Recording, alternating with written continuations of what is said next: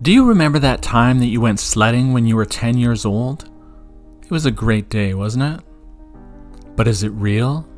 Does that moment in time still exist?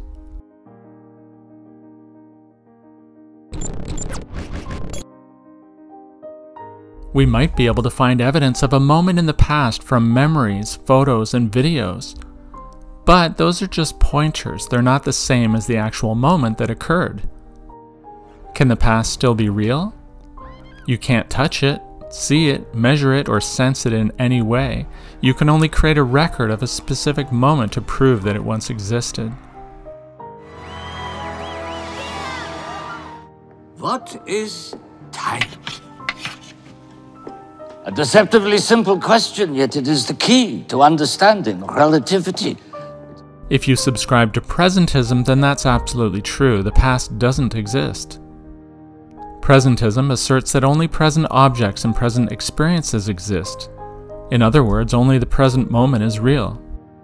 You could argue that the current moment wouldn't be what it is without the past having unfolded as it did. In this framing, the present may serve as evidence of the past's existence. Unless, of course, you subscribe to last Thursdayism. Who's to say that you didn't just come into existence? Perhaps nothing existed before now, and all of your childhood memories were implanted. Last Thursdayism, also known as Last Tuesdayism, is the idea that the earth, the universe, everything was created last Thursday. That five star restaurant that you dined at last Wednesday? Not real. Your nerdy best friend from grade 2? They never existed. We're done. Probably wondering why I keep appearing in your memories. It is because I have inserted myself in them. All of these memories have been fabricated. But most scientists, including the great Albert Einstein, don't agree with the idea of presentism or last Thursdayism. The distinction between the past, present, and future is but a stubborn illusion. Einstein's theory of general relativity describes space-time as a unified fabric where space and time are intertwined.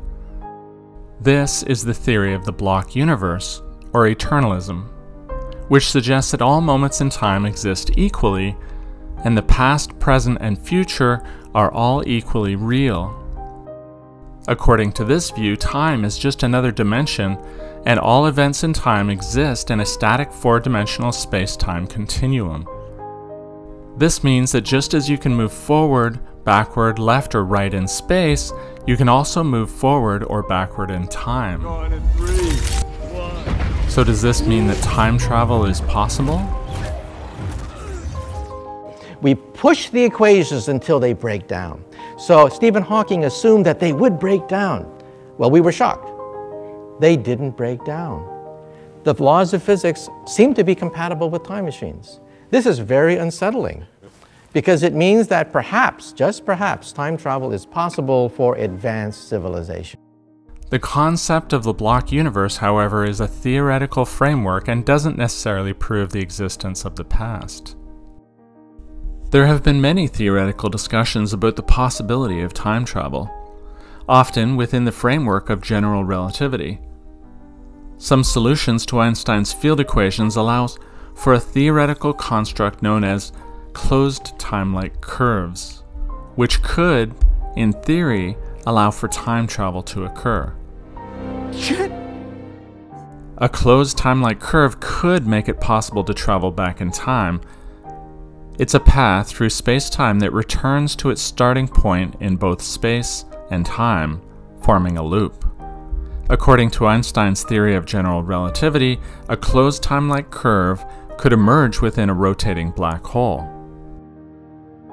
This, of course, raises profound questions about causality and the nature of time. Who are you guys? We're you, dude!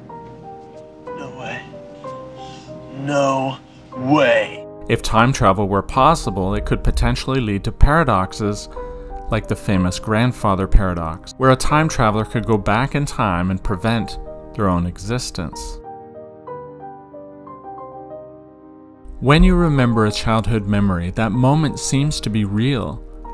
Yet you can't touch it, see it, measure it, or sense it in any way. So, does the past still exist?